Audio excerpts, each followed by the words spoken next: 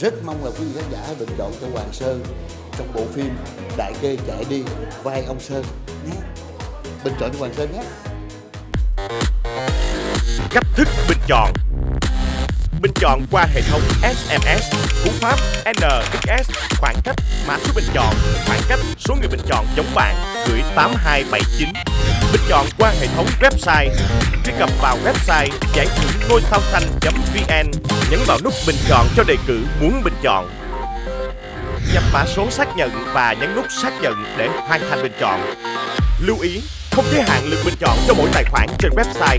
Số lượt bình chọn sẽ hiển thị trên website giải thưởng ngôi sao xanh.vn tại các hạng mục khán giả đang bình chọn vào lúc 11 giờ đến 12 giờ và 16 giờ đến 17 giờ hàng ngày. Chương trình được truyền hình trực tiếp lúc 20 giờ trên Today TV và UTV